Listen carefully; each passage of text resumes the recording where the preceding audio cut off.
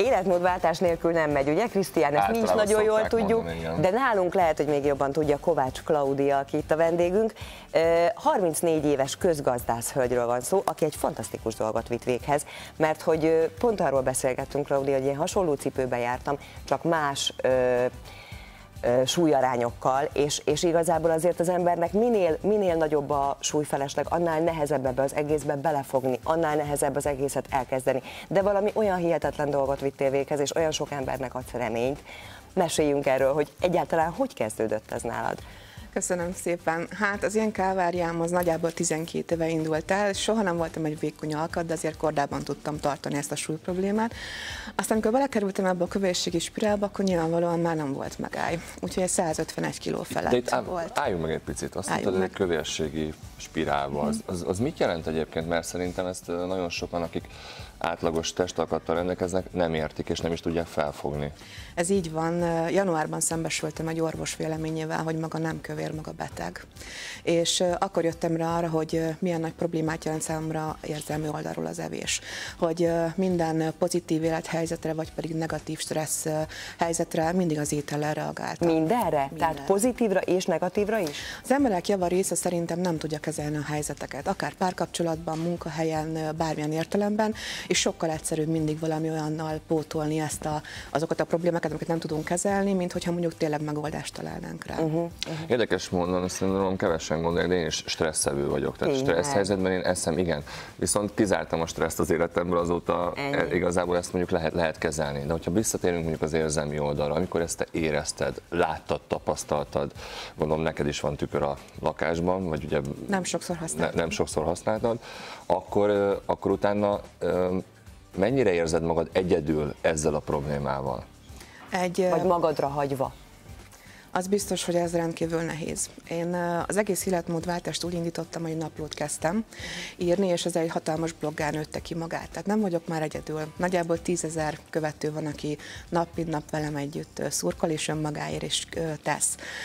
És abban így próbálok én is a naplón keresztül segíteni, hogy megmutassam, hogy van ebből kiút. Próbálok, próbálok hozni példákat, jó? Tehát én, amikor nagyon elengedem magam, akkor a magyaró vajas doboz, vagy a magyaró krémes doboz mellett ott van a chips chipses doboz és minden más, és áll majd holnaptól. Fölteszem a lábam, és a holnap ugyanígy indul, mert ami megmaradt testéről, azzal kezdem a reggel. Tehát, hogy, tehát, tehát hol, hol állítja meg az ember, és hogyan? Azt a dolgot. Majd holnapot? Igen, a majd holnapot, hogy majd holnap, majd holnap, majd holnap, és ahhoz, hogy szerintem életmódot tudjunk váltani, ahhoz az élet, ahhoz az ét, étel minőséget is le kell cserélnünk. Meg a mennyiséget. Igen. Én úgy indultam ennek az egésznek neki, hogy szerettem volna tudni, nem csak csinálni, hanem érteni. Ezért azzal kezdtem, hogy képzéseket végezzek. Táplálkozási szakértő képzés, life coach képzést végeztem, és jelenleg fitness edzőnek tanulok.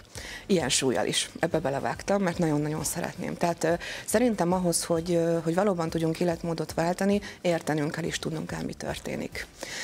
Az ételek kapcsán pedig valóban egy sokkal minőségibb étrendre kell váltani, tehát nem lehet ugyanazokkal az ételekkel, mint amiket korábban ettünk, a cukros, süteményes és csokolád, és neked nem kell mondanom, hogy mi az egészséges életmód. Tehát valamit azért változtatnunk kell.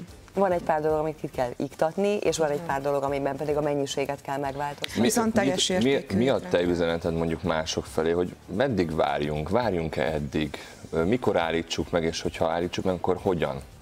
12 Mit látsz most? évig vártam és ha tehettem volna, akkor nyilvánvalóan sokkal korábban megállt parancsoltam volna ennek. Nem tudom az időt visszaforgatni, viszont másnak 23. órában kell gondolkodnia, és valóban arra gondolni, hogy szeretnének boldogok lenni. Én nagyon sokáig most már tudom, hogy csak álmodoztam a boldogságomról, és ilyen testsúlyjal, ilyen problémákkal nem lehet jövőt építeni. Hogyha mondjuk veled szemben áll egy ember, és az egy, két ember, és az egyik azt mondja, hogy te beteg vagy, a másik azt mondja, hogy te kövér vagy. Melyik érint meg jobban lelkileg? Melyik, melyik a fájdalmas? Nagyon sok a bántás éri egyébként a kövér embereket. Jobban megérint lelkileg, mint az, hogy azt mondják, hogy beteg vagy. De miért? Igen. Mi ennek az oka? Ha bemegy egy szobába egy kövér Bocsánat, másképp kövérnek érzed magad? Már nem. És amikor, és, és amikor kövérnek érezted magad, és akkor azt mondták volna rád, hogy kövér, ugyanúgy fájt volna. Sokkal jobban fájt, és én nem is akartam tudomást venni a problémáról. Aha. Sokan próbáltak nekem segíteni, nem tudtak. Ameddig az ember maga nem határozza el, addig senki nem tud segíteni rajta. Sem orvos, sem életmód tanácsadó, sem edző. Én edzőterembe jártam három évig, és aztán nagyon szépen bevacsoráztam otthon ugyanúgy. Tehát kell egy pont, amikor eldöntöd azt, hogy akkor most már tényleg szeretnél boldog lenni. Te nem voltál boldog, ugye? Akkor, amikor, nem. tehát mondhatjuk azt, hogy majd, hogy nem depressziós voltál. Mennyire ö, érintette ez meg a környezetedet, a családodat? Ö, mennyit vettek le, le ők ebből, és próbáltak-e segíteni?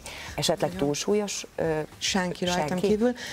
Az én túlsúlyomért csak én vagyok a felelős, senki más nem tudok okolni. Ezért sem a családban, sem Hány év után láttad ezt be a 12-ből? 12? El kellett tenni a 12-ben.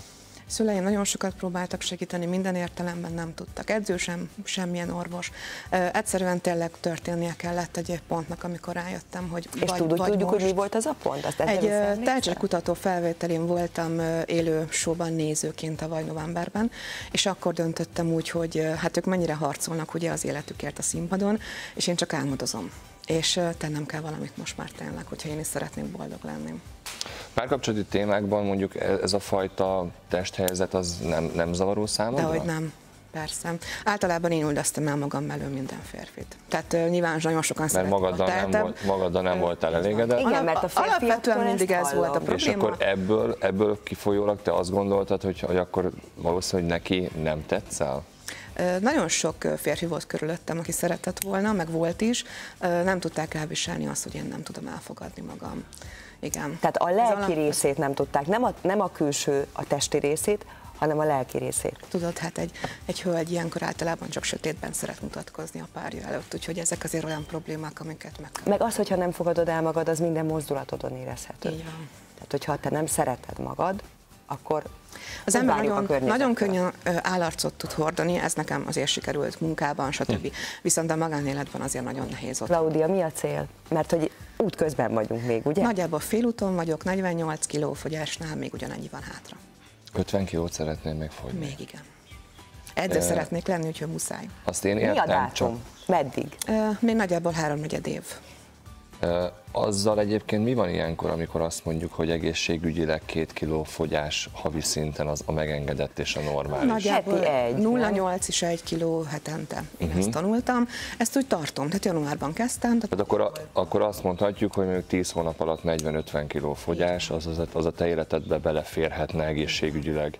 Teljes kontrollat vagy ilyenkor egyébként? Orvos, tehát orvos és van persze. Az, hogy egy, egy ilyen jellegű túlsúly keletkezett a a testeden, ez hozott neked egyébként egyéb egészségügyi problémákat? Szerencsés vagyok, mert inzulinrezisztencián kívül semmi más többé már elmúlt. Uh-huh. Tehát elég volt nagyjából 50 kilót lefogyni ahhoz, hogy ez ne jelentsen problémát, de igen. És Gondol, gondolkodtál bármilyen beavatkozáson egyébként? Későbbiek során? Nem, most nem, akár zsírleszívás, akár amikor tudod a gyomorgyűrű, vagy esetleg a gyomornak egy részét kiveszik.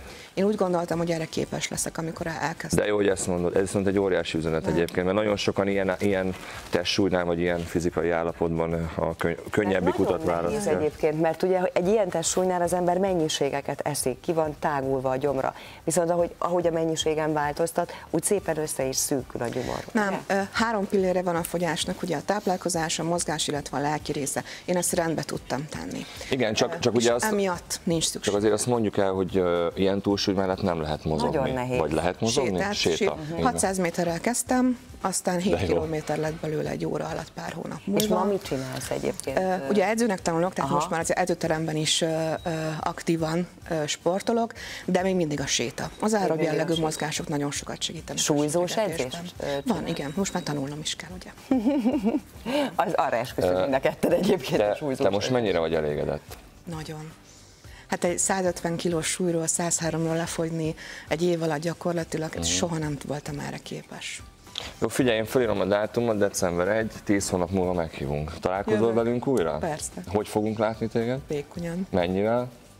Hát ez a 65-70 kiló. Rosszul fogjuk magunkat érezni, és meg fogjuk kérdezni, hogy mehetünk-e Klaudiához esetleg Jó. egy kis továbbképzéssel. Legyen így. Jöhetsz talál... edzeni. Tessék, ha 10 hónap múlva itt találkozunk, bejössz a műsorba, 65-70 kilót mondtál, célozzuk meg a közepét, 68 kilóval itt vagy, akkor utána egy évig felkészítesz engem egy versenyre. Megbeszéltük? Meg. Köszönjük Bocsánat, szépen. én vagyok a tanú. Köszönjük szépen, hogy itt voltál, és örülünk, hogy ezt megosztottad. Én nagyon örülök, hogy elmondhattam. Köszönjük szépen.